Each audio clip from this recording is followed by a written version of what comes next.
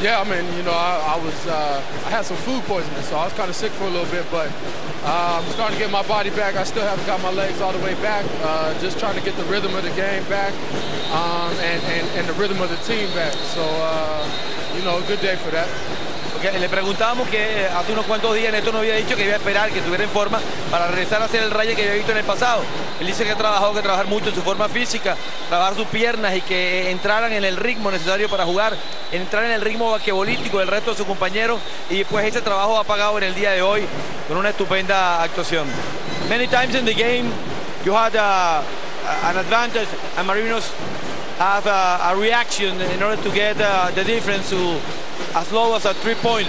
But once, once uh, and over again, you, you, you expand the, the difference uh, to, to win the first uh, match against the, the rival because you, you have five uh, finals in a row in, in our league.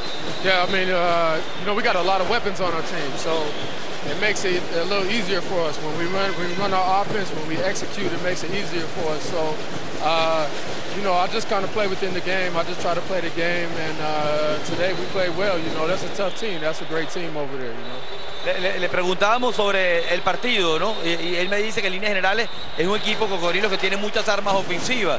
Eh, que Marinos es un equipo muy complicado, pero que esa variedad de armas ofensivas que tiene el equipo de Cocodrilo, pues lo hace un equipo sumamente complejo para vencer. Y eso por supuesto hay que darle crédito al contrario que una y otra vez en el juego bajó la diferencia pero Marinos eh, eh, la bajó pero Cocodrilos la amplió nuevamente. Ryan Forrest Kelly el más valioso del partido. Nosotros le damos las gracias. Thank you for being with us. Pleasure pleasure. Thank you